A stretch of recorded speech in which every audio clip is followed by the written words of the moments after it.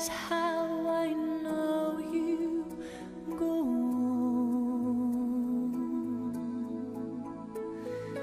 far across the distance and spaces between us. You have come to